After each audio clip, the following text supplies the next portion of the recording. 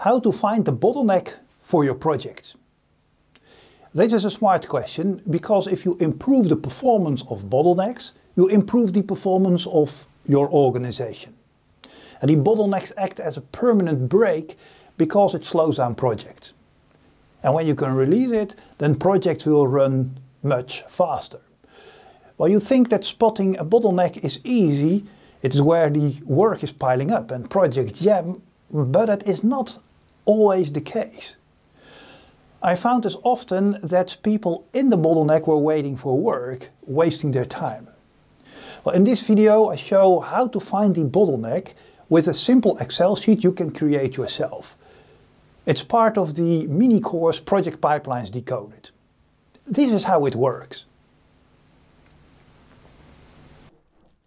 For our bottleneck analysis, we start with setting up a spreadsheet and doing an inventory first, and then we do the bottleneck analysis. Step 1 is create a workbook in Excel. Step 2 is put the names of the projects in the first column. Step 3. Put the names of the resources on the top column. This works fine for a few dozens of resources. For bigger organizations you have to tweak this a bit and take note in many industries and organizations, the most problems are, can be traced back to people who didn't have enough time, too many other things to do, and most conflicts are about the availability of people. So it is okay to focus on people first. But keep in mind, some industry heavily depends on scarce machines, lab, space, materials, whatever. So if that is the case, you might need to include them in your analysis as well. In this example, we focus on just people and very often that is okay. Step 3. We're going to prepare a spreadsheet for the next analysis. We add three rows on top of the sheet and one additional column on the left and label them with pipeline, total, subtotal and percentage.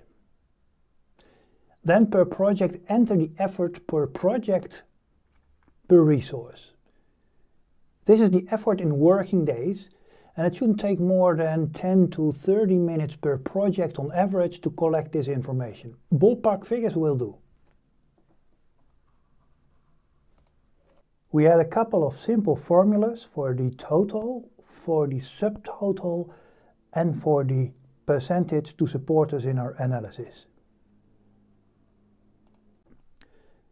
The bottleneck reveals itself where the workload or the subtotal has the highest number. This resource needs to process more work than anyone else to get all those projects completed. We put a filter on the project to show only the projects that need to pass this bottleneck. Bottleneck work might be shared between more resources or even within a team. If that is the case, then add also all the projects these resources are involved in to the pipeline. And this creates a multi-resource bottleneck or a multi-resource pipeline. When we select the row with the percentages, we can see at the bottom of the screen that we control 64% of all the work. Add the name of this bottleneck resource in the first column. The pipeline is named after the resource in the bottleneck. This is the primary pipeline. We can repeat this process for the secondary pipeline.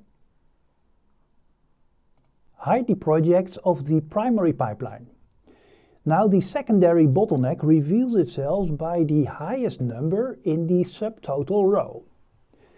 Filter the projects to show only projects of the secondary bottleneck and in column A label these projects with the name of the second bottleneck.